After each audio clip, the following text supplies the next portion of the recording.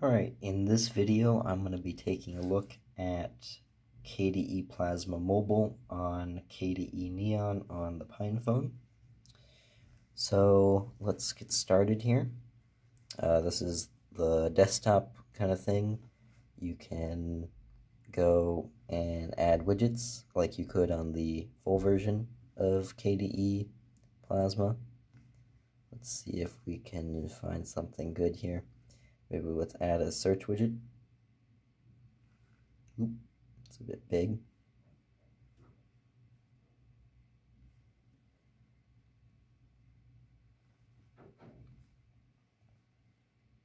There we go. And then you could search for something like discover.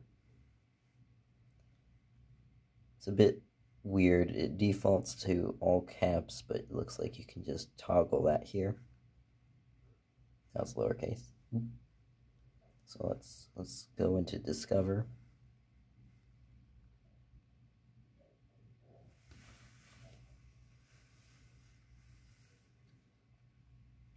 See if this will load, which it should. Uh, I've connected this to the internet. There we go. So that's some featured apps. You can go and look at all the apps that you can install, which are pretty much just the apps that are available for KDE Plasma, or KDE Neon, sorry. Uh, most of these aren't going to probably work on here, but maybe let's try something like Kate. Let's try installing Kate.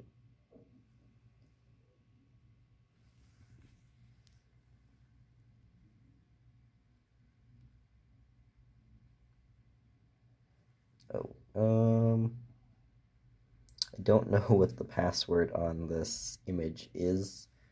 Maybe it's like phablet.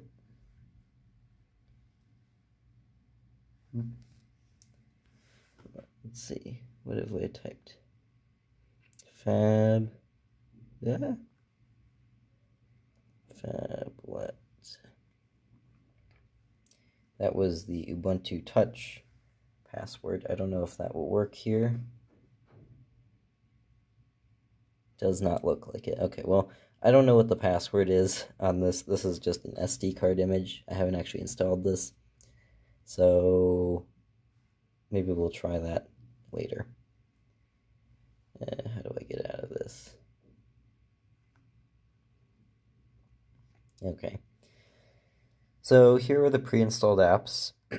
you have Boo, Buho. I don't, I don't know how to pronounce it, but this is basically, from what I can gather, like a note-taking app. It allows you to put down little notes and to-dos and things like that.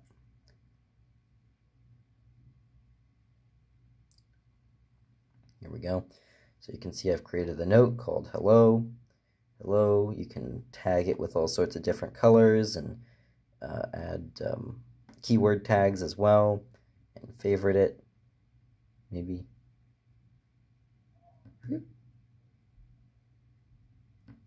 Okay, well, maybe you can't favorite it, but presumably you will be able to.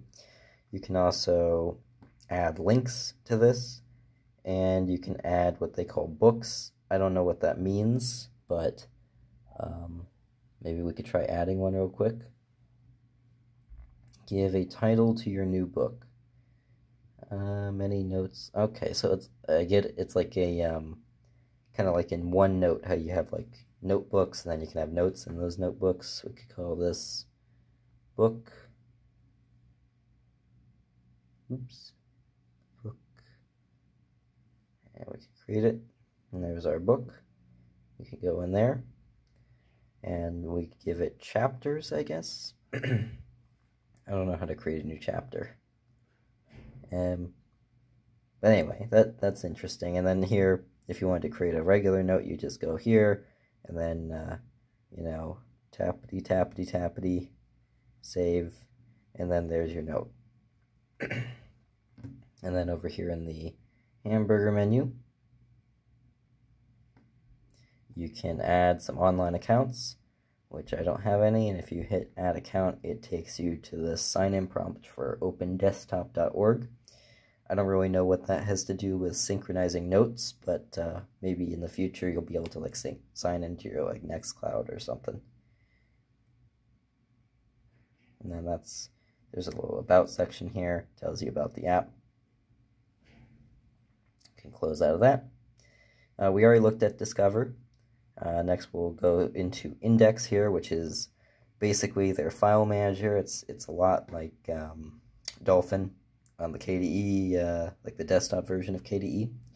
So you can see your home folder and you can look through your documents and your uh, your music and, and all that fun stuff.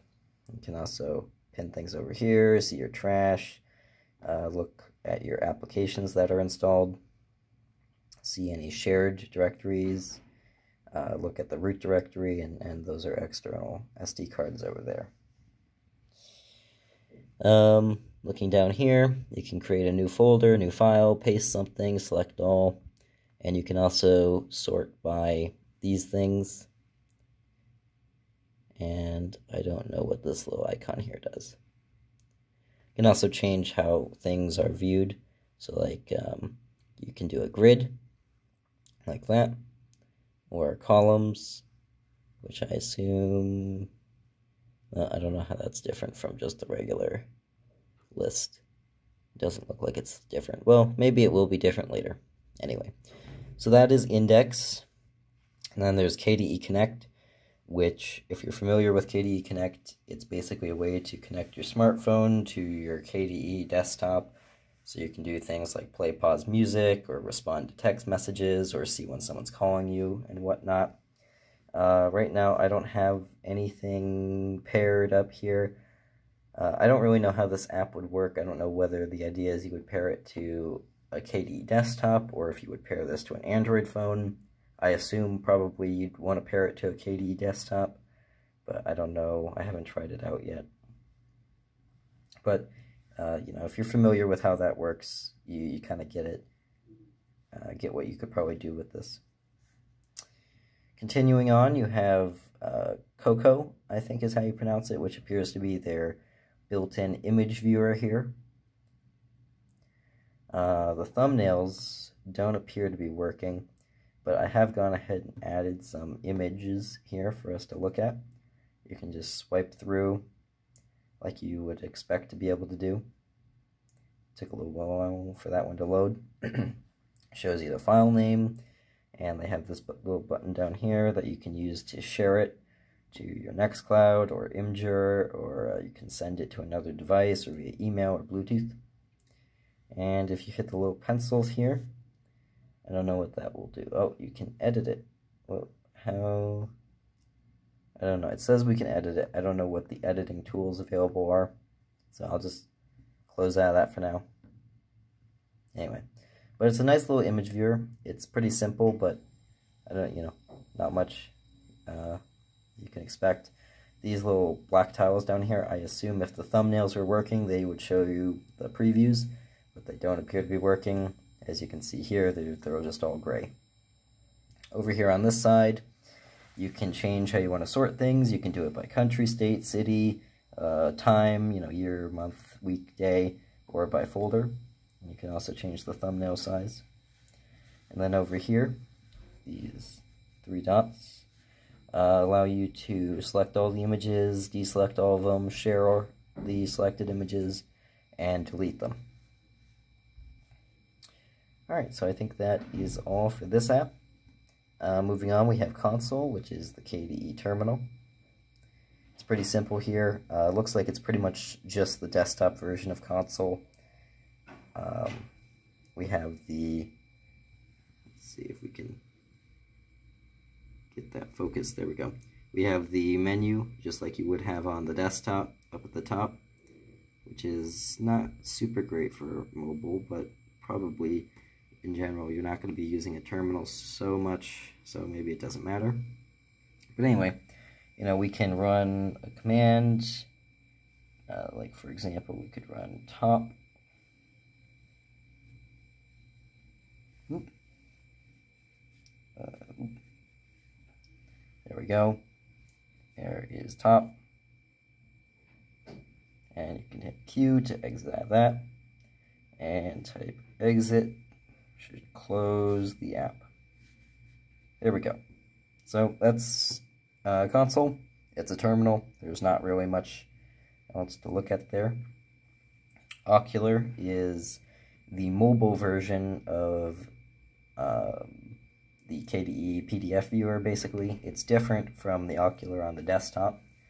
Um, you can, I don't have any PDFs here actually to open. I should have added some of those on here. But in theory, if you did have a PDF, you could go over here and tap open, and that would open up, um, this looks like it's Dolphin, actually, the, the regular desktop KDE Explorer. But maybe we can open up this, this hello txt. Let's see. Can't tell if that worked or not. Anyway, but you could open up PDFs or like markdown files in here. Uh, you can't edit them, but you can open them. then you can, over here, what is this?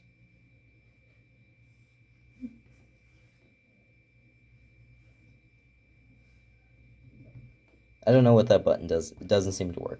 I assume this is like a bookmark button, which does nothing because we don't have anything open. So that's Okular. Over here is the address book app.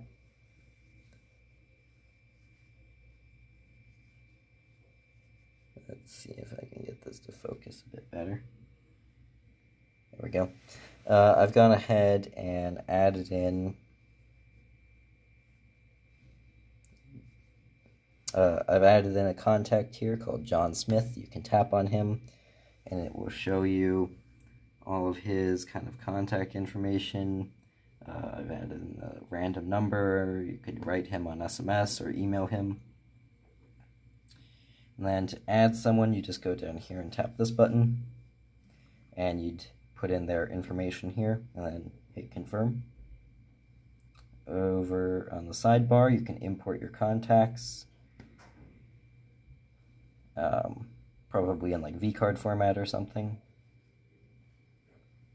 And then I think that's pretty much it for the contact book. You don't really need much more than that. So we'll just get out of there. And then the settings app is a more limited version of like the desktop KDE settings.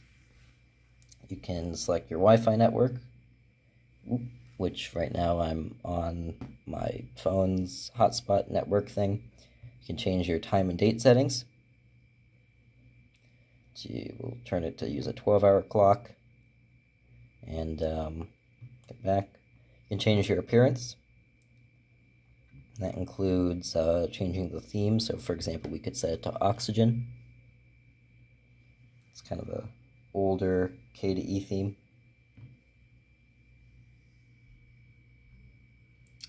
You can change your sound settings. Let's see. I don't know. Anyway, um, you can see like about. So you can see this is running. It says Ubuntu KDE Plasma 518. Uh, really, this is KDE Neon, which is based on Ubuntu, so I guess that's not technically a lie. You can change your language. Right now we're at American English. Uh, information about like the screen.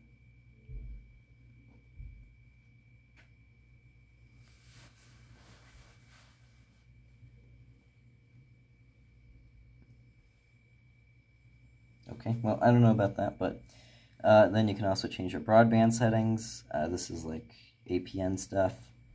And then your online accounts, like Nextcloud, I assume. Yeah, or you could connect Google or OwnCloud. And in the future, I'm sure they'll have like Nextcloud and maybe Microsoft or Facebook or whatever.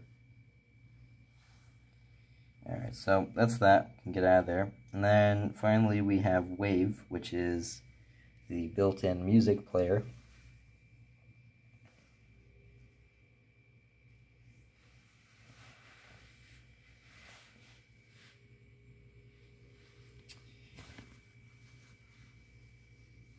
Alright, let's see. I did add a couple songs on here but I can't get them to play for whatever reason. Also, it appears to be a bit blurred out using this theme. Maybe I'll go back and change it back to Breeze real quick. Uh, appearance, and we'll just go back to Breeze. There we go. Alright, uh, we'll need to close this and reopen it.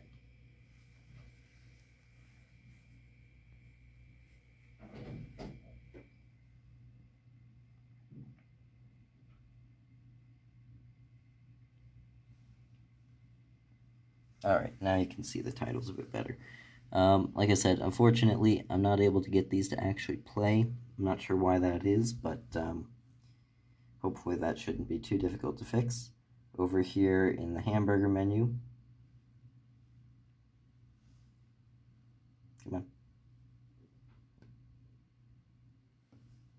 There we go.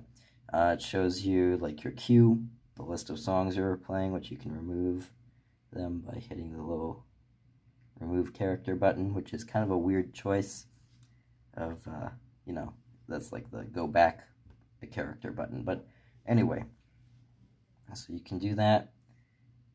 You can close this. You can sort by, you can sort by uh, artist and uh, album. So albums, that's there. Over here we have artist Yep, There we go. You can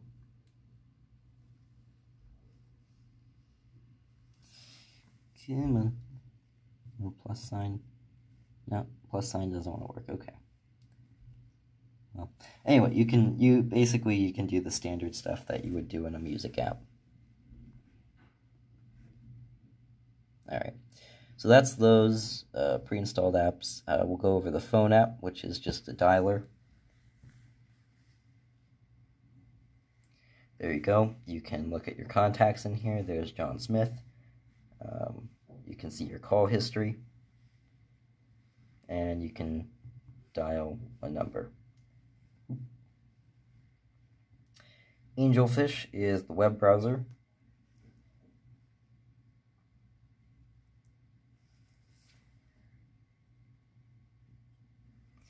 This is my website, uh, which is the last page I had it in.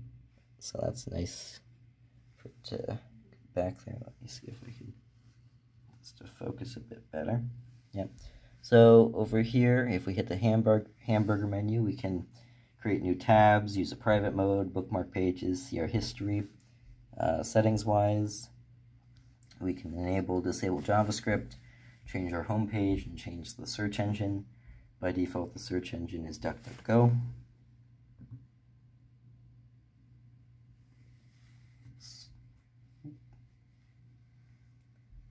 All right.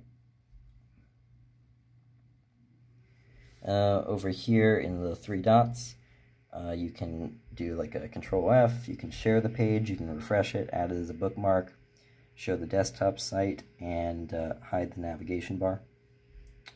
Let's try going to another website here, maybe like uh, YouTube.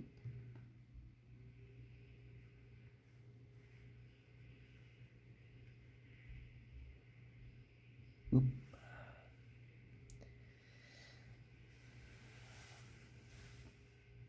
Why is this so? There we go. So here's YouTube. You can scroll. Uh, ooh, I don't know what this video is.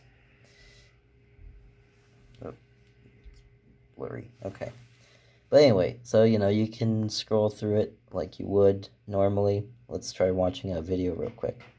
Maybe, um,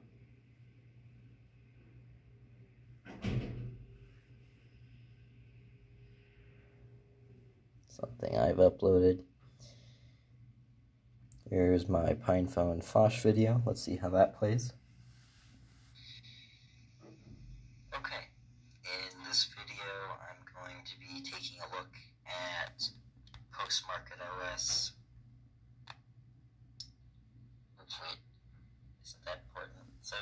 let's try going to a website. Uh, we'll go to website maybe. Alright, well, that works well enough.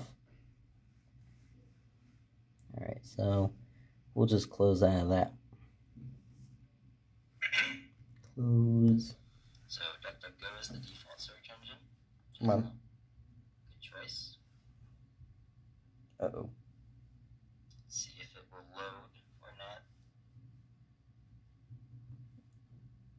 Seems to have kind of become unresponsive here. Oh, there we go. Alright. So we got that closed, and then um, we can just try the calendar app.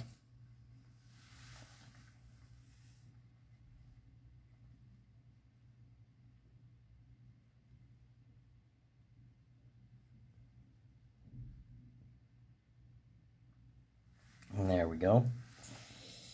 So you can kind of select the days, change uh, whether you want to see the month, the tasks, or event view.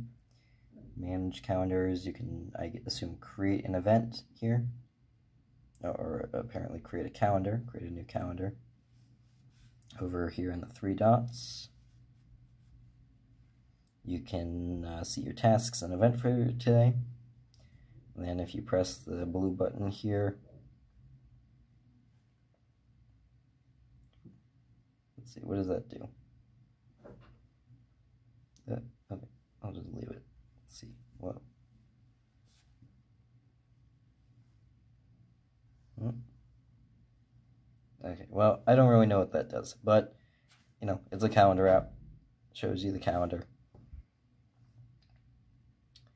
Uh, so that's that for the apps. You can swipe down from the top here to see quick toggles and your notifications, you can dismiss here.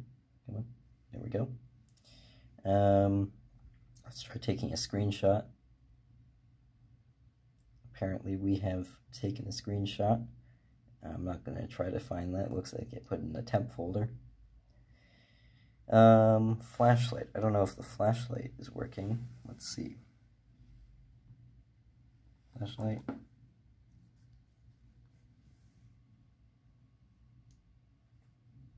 Doesn't look like it. um, but you know, this is basically just kind of what you're used to probably. Let's see maybe what the battery life view looks like. That just takes us to the settings. Maybe they haven't implemented the battery view in the settings yet. So, yeah. Anyway, well, that is... Hmm, let's resize this. Let's see if we can add another widget just to end out the video. Uh, let's add a let's add a clock. There we go. Look at that. You got a clock. So um, that's that's pretty much it. That's KDE Plasma Mobile. Um, yeah. Uh, let me, I can't, I couldn't find a way to shut down the phone from the operating system here, so I'll just shut it down by holding the power button here. There we go. So that is that, and uh, like the video if you enjoyed, and uh, I'll close it out here.